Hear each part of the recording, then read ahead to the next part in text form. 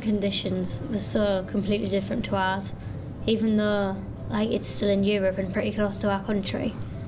You'd see a house like three stories high, lovely, like pillars and all that, and then right next to it would be a house with a caved in roof with 10 people living there.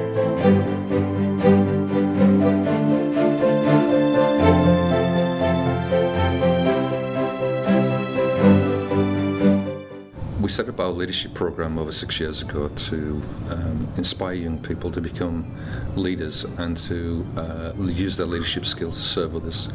Uh, and in that first program, we, we came across Steve uh, Cooper and the work of Cry in the Dark, and it seemed a natural fit for our young people.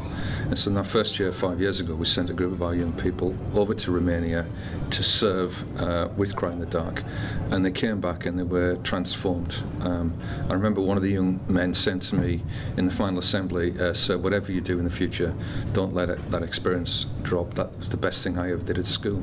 So it was obviously a very powerful experience for them. One girl, um, we found it really surprising um, how she could speak like almost perfect English. Mm. Um, we taught her how to spell England, and that was really nice because um, she tried. To, um, sh we wrote Romania 2017 on the floor, and um, she wrote England or tried to. So we then helped her spell it, and she wrote it again. It was really life changing, so I definitely recommend it because it made you realise like how lucky you are to be there and like it sometimes just makes you realise and makes you think about life and other people. I found it really exciting to go as a member of staff because uh, it was great to get to see these guys um, realise lots of things for the first time and uh, they were really good at getting stuck in uh, to the experience of being there and working with people who were from a different culture and uh, who also um, had varying uh, needs, um, but they got really stuck in, and it was really enlightening uh, to get to see their perspective of enjoying it and really getting a lot out of it.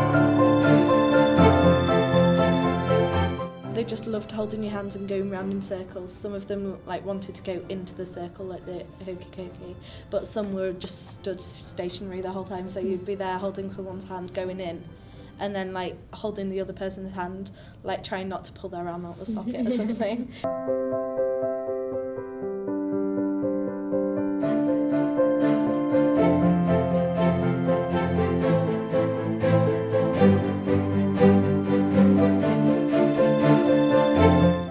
Don't really have any words to really describe it. It was just amazing.